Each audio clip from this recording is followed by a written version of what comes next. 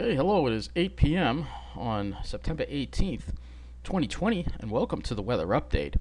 Uh, much more improving conditions uh, later this evening. Uh, we've seen the smoke breaking up in the sky. I'm going to show you what it looks like.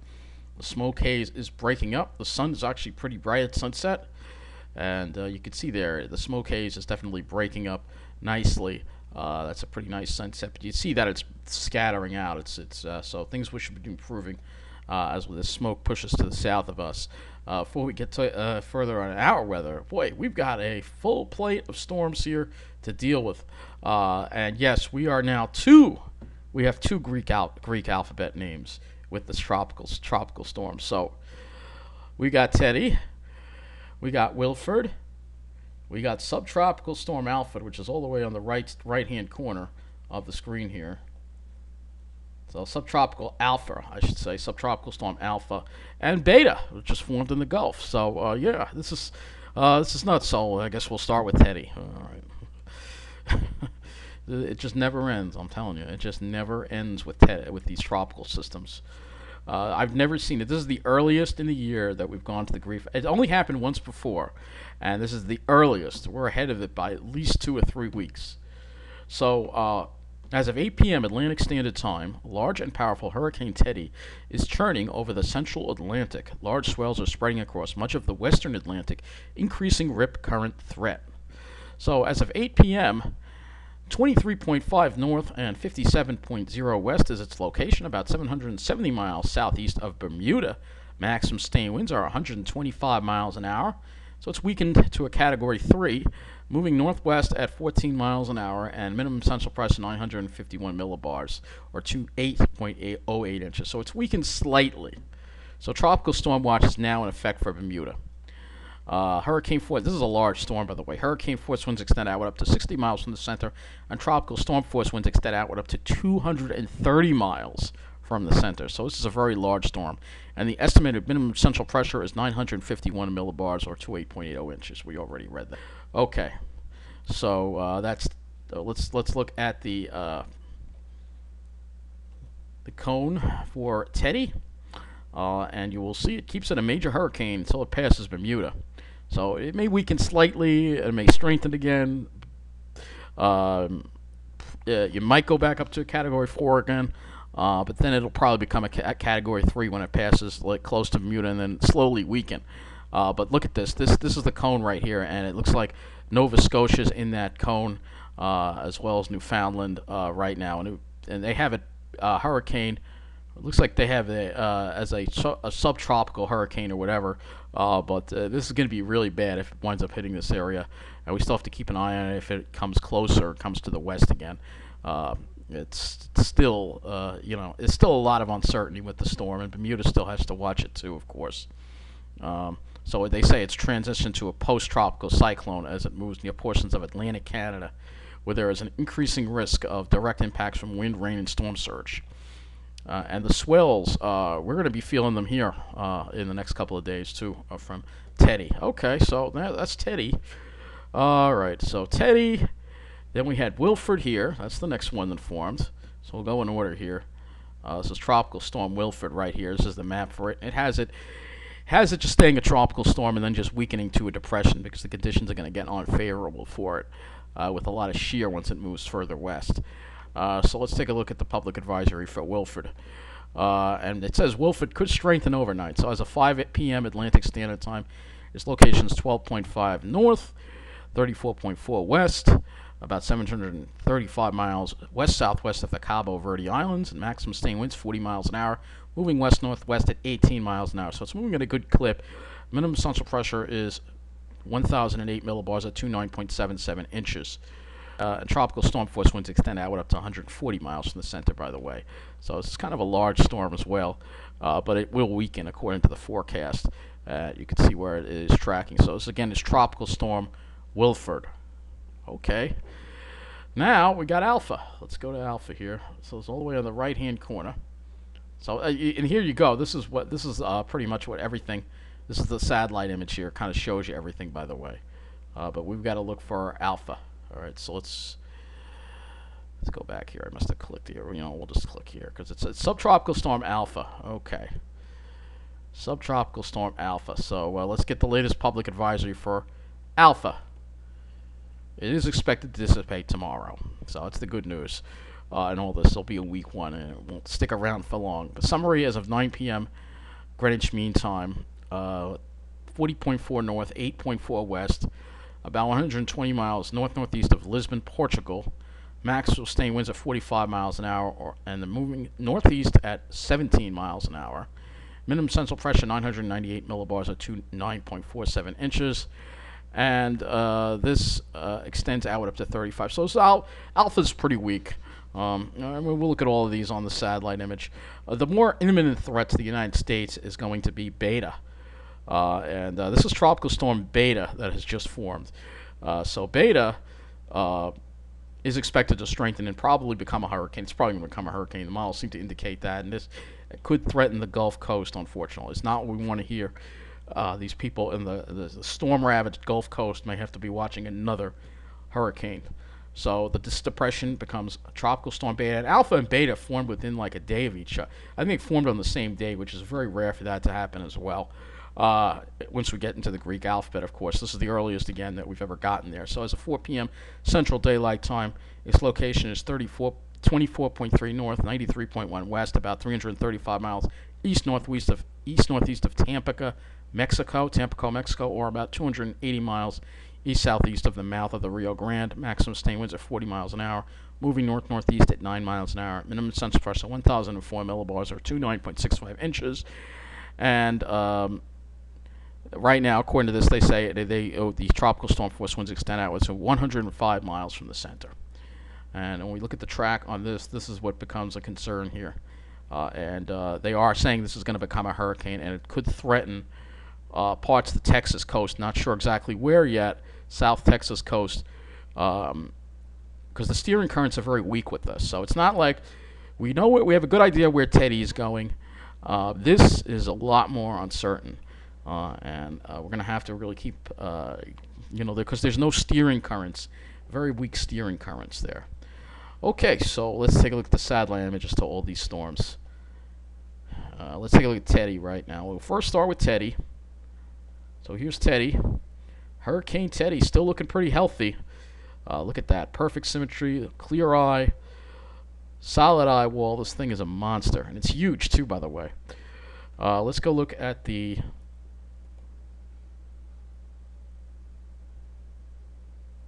visible shortwave. Let's look at that.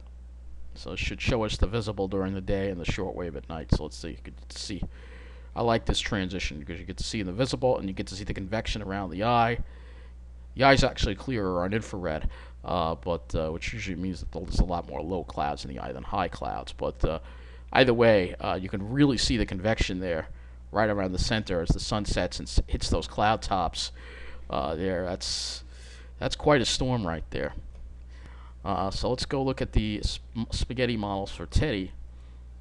Uh, this, uh, you can see, it kind of keeps it over Nova Scotia here. It doesn't really take it further west, fortunately. Most of them are keeping it away from the United States, but Nova Scotia and um, Newfoundland, the Canadian Maritimes, are definitely going to have to watch out. Uh, we can also take it a step further, look at the GFS and ensembles for Teddy there, which kind of show the strength, and it's going to be pretty strong. Because, again, those warm waters, it's not gonna, it's, it's going to hold on to its strength. Um, that's that's for sure. So that's Teddy. Um, look at all these. They still have uh, they still have this as 22 uh, here. Let's look at Wilfred. This is Wilfred here. Not quite as organized yet. And it's going to start getting sheared once it moves further west uh, because there's a trough that it's going to run into. So this is probably not going to become a hurricane as far as Wilfred goes. Um, let's look at alpha. This is alpha, by the way. Pretty distorted satellite here. It's, it's a subtropical. It's very poorly organized. But it has tropical characteristics, so it gets a name. It's actually saying remnants of alpha now. So alpha's already dissipating. It's not... Oh, what are you doing? What are you doing? This computer's... Okay. Now we go to 22, which already is... Uh, which already is beta. So this is what beta, this is beta right now. I have to update the site, but this is what beta looks like right now. So you can definitely see some convection here. Some really solid convection going on uh, around. So this thing's going to strengthen. It's over the Gulf, and the Gulf is really, uh, you know, very favorable right now for these storms. Um, so let's go to the MODIS high resolution satellite. So we go to this. So look at all of this and the smoke on the high resolution satellite for the day. Let's all that okay. I don't have the West Coast one in yet. Okay, so just wanted to show you the West Coast. You see all the smoke that's still these fires are still ongoing. They're trying to get them under control, but uh, you'll see here that the smoke is getting pushed down uh, by the flow out of Canada. So we're gonna get this clear Nice clear air coming out of Canada right now. Look at all the smoke here, gotten tied up. This is subtropical storm alpha, or is that Paulette? No, that's subtropical storm alpha. So this is what's left of Paulette. So this is actually going to make it all the way to Europe. This smoke. Uh, here is Hurricane Teddy, looking pretty healthy right there. Look at how big it is too. Again, if you put if you put that over, if you put that over Florida, it would cover the entire state, and then some. Um, and here is Wilfred looking kind of weak. It's not really going to be very. Uh, but this is Beta here, and Beta definitely looks look, looks impressive. I think that's going to be the that's going to become a hurricane. Uh, but the good news for us in all this is that we have this nice cool air that's coming down. Let me clear this out, uh, and we'll draw the nice cool air coming this flow coming right out of Canada. It's actually pushing the smoke away too, so we're not going to have to deal with any of the smoke. It's going away, uh, and we're going to have nice clear skies. Uh, and that's uh, something we uh, that def- we didn't get the last time. It was pretty disappointing, but we'll we'll definitely see some clear skies now. So let's go to the models. And we'll first start with the upper air, and uh, I do want to again make it uh, give us the North Atlantic view on the upper air, so we get an idea of everything. Right, it's where everything is and what's happening. Uh, so Start with the upper air.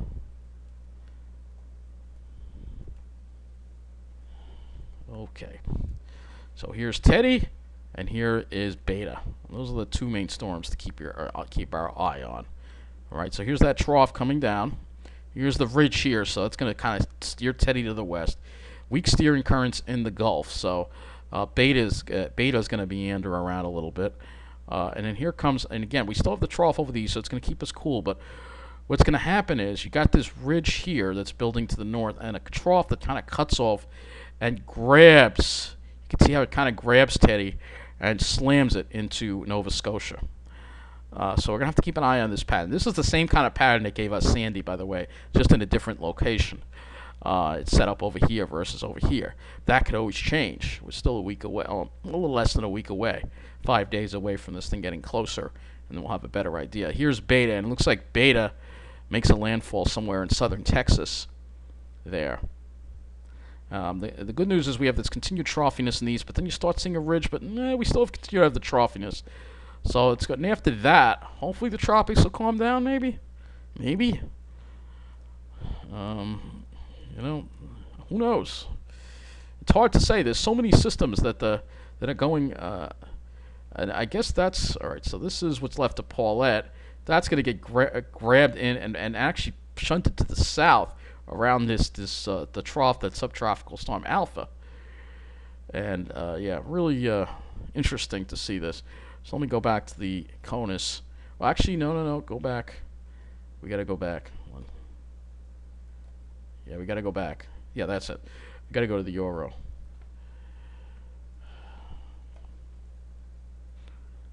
because every model has their own different opinion on what's going to happen. So this is the European model.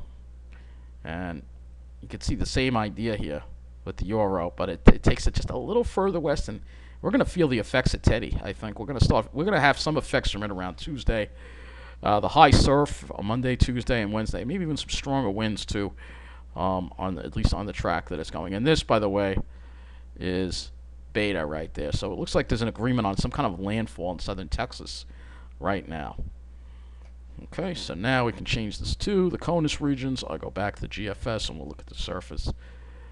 Oh boy, so much stuff to, so much stuff to go over.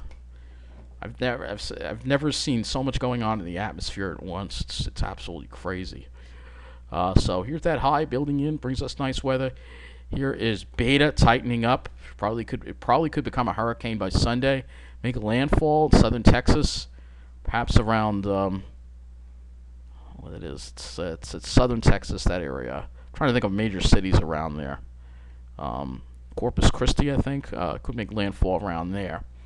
Uh, and then it's gonna not gonna move very much. It's gonna kind of sit, and then it actually brings it back out over the coast again, and, and rakes the whole Gulf Coast. And then it sits it over uh, Louisiana before finally going in. That is really gonna be a bad scenario for the Gulf, right there. Really is. It, it really is gonna be a bad. But for us, um, we're gonna have just beautiful weather. That high is gonna sit over us. Uh, you see that tight gradient there? That's Teddy. You can see we're going to feel some of the winds from that uh, into next week. Uh, and then just one, just lots of nice weather for us. Uh, it looks like something else tries to get going over here too. So uh, there's a lot going on, and it's a lot also for the models to process too. I'm not even going to go beyond that as far as the long range goes because we have enough in the next five to ten days to watch. And I'm not even going to even go beyond that at this point. Uh, so let's go take a closer look at Teddy. I mean, let's take a closer look. Well, we got to look at Teddy, and we got to look. All right, where do we start? All right, so we'll first start with Teddy. Uh, all right, now there is one for Atlantic Canada. Uh, should be an option here, but I'm trying to find it. Somebody said that there was an option for Atlantic Canada um, on these models, but I don't see it here. Oh, there it is, Southeast Canada. Okay. So here we go. This is gonna. This is what Teddy could look like when it makes landfall. Uh, this is on the GFS. So look at that. That is pretty deep, and that is pretty wrapped up right there. 944 millibar low or hurricane uh, is going to make a landfall right on Nova Scotia, and this is going to be devastating. I don't know if they've ever had a hurricane like this in Nova Scotia before. If this winds up happening, uh, and if we look at the winds here, Look at that. Those winds are. This is gonna. This could. This could. Is. This is gonna be. Look at that. I mean, this is gonna be a Category Three hurricane. Uh, and then it, it only just starts to weaken a little bit as it gets closer to the coast. This is gonna be devastating. Um, devastating uh, for that area. Absolutely devastating. Uh, and we, and it's a large storm too. So Maine could have some effects.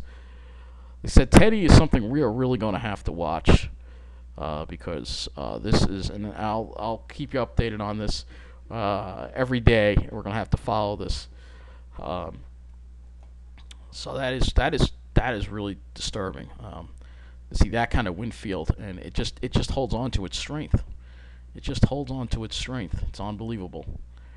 Uh, so let's go to the com- all right. So let's go to the uh, northeast United States here, and we'll look at our weather. Oh, wait, we're not done yet. That's right. I got to look at beta, too. Okay, South Central. All right, so let's take a look at beta here. I'll go back to the precipitation, too.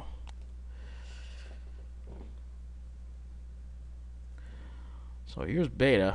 You can see it's strengthening, getting wrapped up there. That's in right before landfall. It strengthens, which is always a bad thing. So it makes it a, gives it a landfall Monday morning over southern Texas and has it just sit there. And then look at that. It just sits there all week.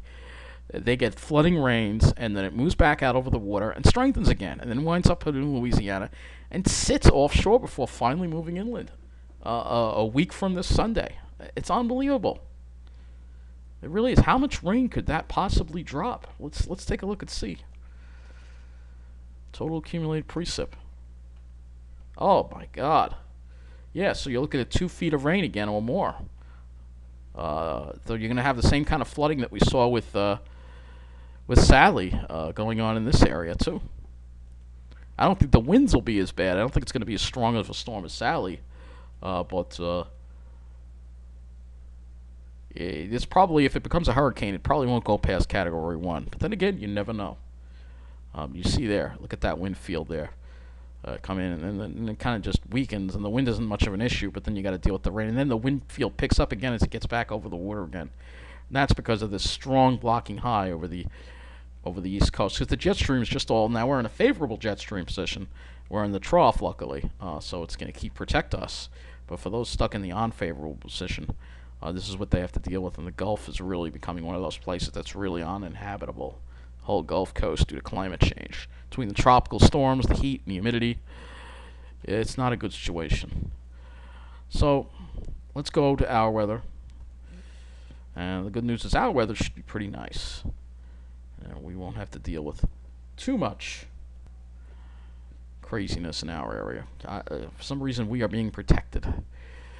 Thank God. So uh, for uh, Saturday, gonna be very after a very cool night. We're dropping into the low to mid 50s tonight. We're only gonna get into the mid 60s tomorrow, mid to upper 60s maybe, and then another cool night, possibly 40s uh, for for Saturday night, and then Sunday, even cooler. Highs only in the low. We'll probably struggle to reach 65. Uh, and then Monday, same deal, mid 60s. Warms up a little closer to 70 on Tuesday, and then we start seeing a little more warm air being dragged up from uh, Teddy. Uh, so the temperatures start warming up by Tuesday and Wednesday next week. We're up around 80 degrees again. So feeling a little oddly enough, right after the first day of fall, it just feels like it wants to get warm again. Uh, that's messed up. Astronomical fall anyway. So let's look at the dew points. And dew points stay low. We're going to have nice low humidity. Dew points dropping to the 30s, perhaps 20s. Northeast breeze, pretty strong northeast breeze. We're going to have that northeast breeze on Sunday too. Dew points staying low. Same thing for Monday. Dew points staying low. You can see there is Teddy passing off to our east. Uh, and we're still going to have strong northwest winds. And then once Teddy leaves, we'll have a little more uh, humidity, but nothing really terrible. Um, so let's go look at the skies. Alright, so here is the tunnels, and you can see that front. It, it, looks like it might just get hung up to the south a little bit, but we should have a clear day over Long Island, no problems. Um, maybe a little more toward Atlantic City. You might be dealing with a little cirrus. That pulls away on Sunday. We may have a little cloudiness here. I'm not sure if that's high clouds or low clouds. Let's see that low clouds or high clouds? I'll put the low cloud fraction. It looks like a mix. A mix. Let's see. I think it is just low clouds. Might, it might be being overdone too. So we should have mostly sunny days both those days. Monday, mostly sunny too. Tuesday, look at what happens. You can see the clouds from uh, from um, Teddy, possibly affecting parts of Long Island. Uh, and then uh, that moves away. We have another nice day Wednesday, Thursday, plenty of sunny skies, uh, plenty of nice weather. Uh, uh, we're very lucky with that. Let's look at the NAM cloud cover.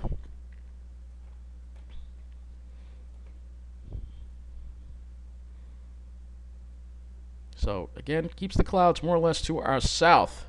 So we should be fine on Long Island. Should be a beautiful day on Long Island, and uh, much of New Jersey too as well. Um, Sunday, a few more clouds around. Yeah, I think there'll be more clouds around Sunday. Probably that's probably why maybe the temperature's a little lower. Uh, but other than that, I mean, yeah, Saturday will probably be the sunnier of those days. Probably have a little more clouds on Sunday. Can also look at the RGEM too if you want, as far as sky cover goes.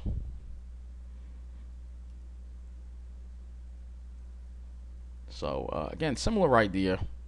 Most of the clouds stay off to the south though. So. And it really looks like it keeps even Jersey clear. Uh, well, Jersey stays clear except for the southern tip, I think, like Atlantic City further south. Sunday we'll see more more in the way of clouds, I think, but still mm, just a few clouds, not all that bad. Uh, okay, I think we'll uh, wrap up this weather update. So there's a lot to follow, and uh, keep your posts on it all. We've got a lot going on in the atmosphere. Uh, never seen it like this, and the active pattern continues. But God is watching over us and keeping us safe here on Long Island, thank God. So take care.